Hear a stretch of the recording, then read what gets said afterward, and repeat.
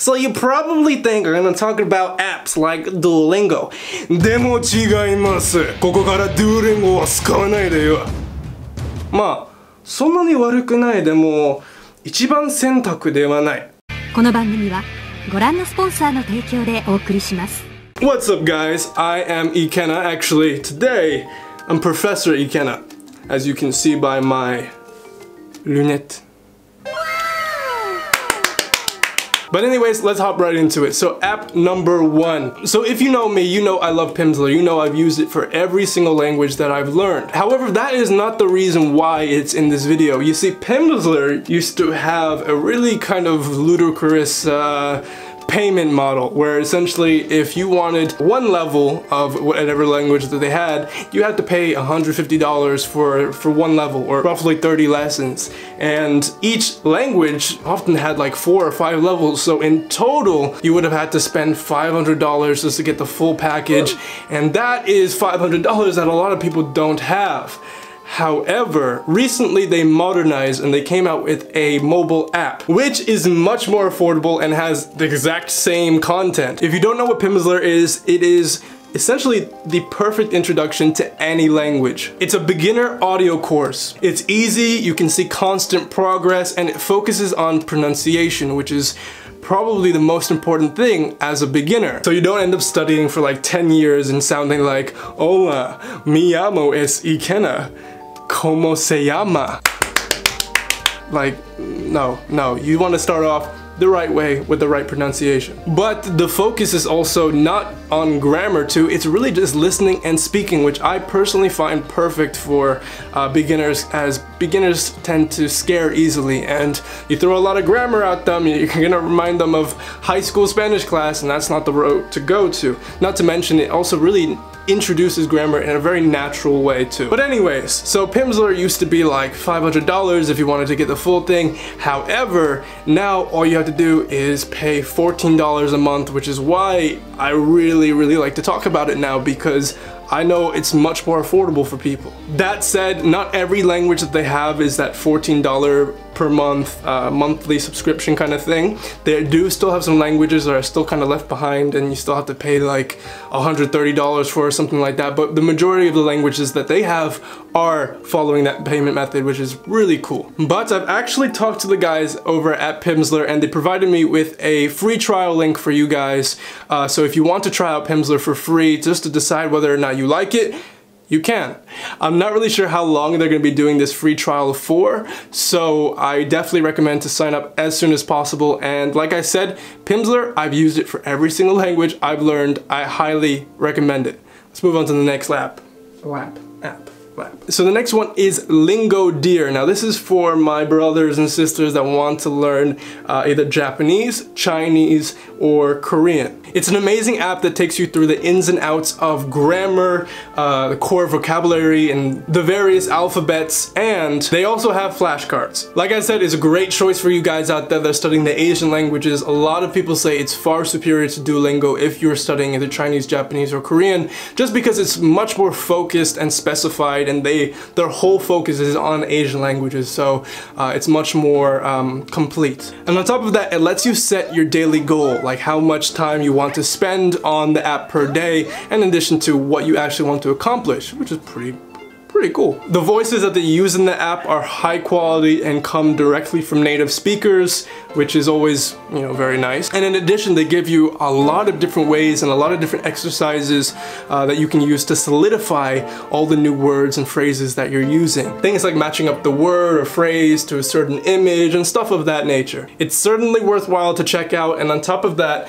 I find it to be more of a standalone language program, meaning some apps you really have to supplement it with a textbook or a lot of different other things. LingoDeer seems like if you were given nothing but LingoDeer, you could still get up to a pretty decent level in whatever language you wanted to study uh, out of those three, and uh, that is respectable. So the next app is HelloTalk. It is a really interesting and unique way to get in touch and talk with native speakers for free. So it's an app where you can text or voice message native speakers that speak your target language uh, that are also trying to learn whatever language that you speak, for example, English. So it's a really kind of tit for tat kind of system. It's, you know, you help me out with my, you know, Chinese or with my Spanish and I'll help you out with your English kind of thing. But it's also very cool because I really feel like it helps foster organic friendships and you know whenever you're able to communicate with a lot of different people that you know you all have kind of similar interests you're trying to improve yourself a really cool thing could happen and you can make really amazing friends. On top of that the app is full of very useful features. For example if someone sends you a message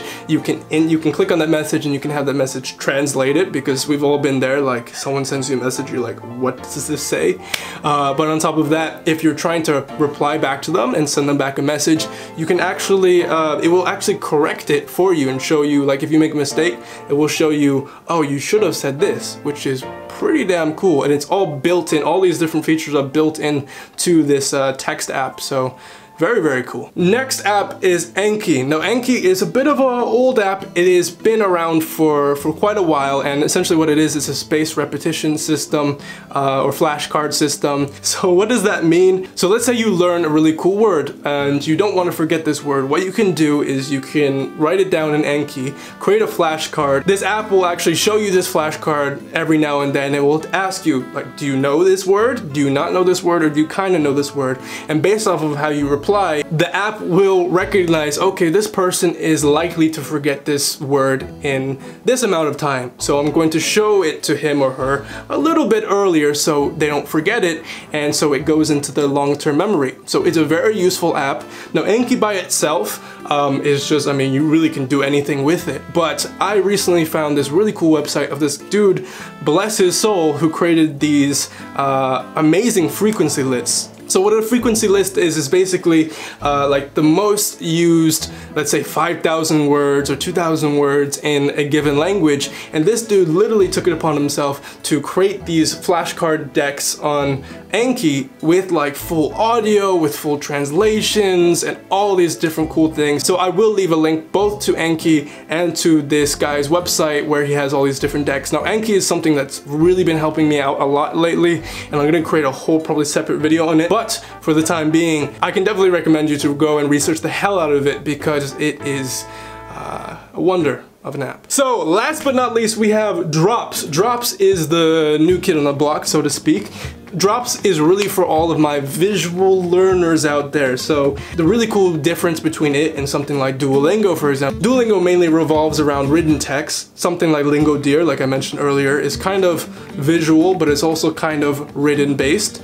Uh, however, Drops is solely visual, meaning any phrase or word or sentence that you learn in there is going to be tied to a picture, which is really cool. But yeah, I'd probably say it's the most useful and fun app for people who are travelers, for example, and you want to go to a new place and remember some core vocabulary without forgetting it, and you want to make damn sure that you don't forget it.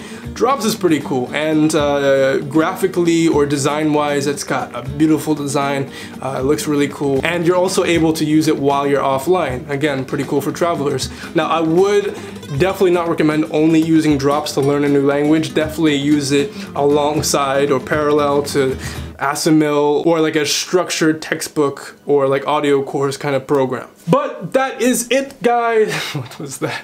But that is it, guys. Uh, those were the five apps 2019 that I wanted to talk about. Didn't really go over Duolingo because I know a lot of people uh, use it. I wanted to give you guys some more, not so much hidden, but less common apps out there. And uh, I hope you guys liked the video. If you are really kind of curious, how do I integrate all these different resources into my own language learning routine, or just more about my story, how I taught myself these six languages, definitely check out my book Fluency Made Easy. Uh, I go over my favorite resources, how to use them, when to use them, which is very important. You gotta gotta know the right order.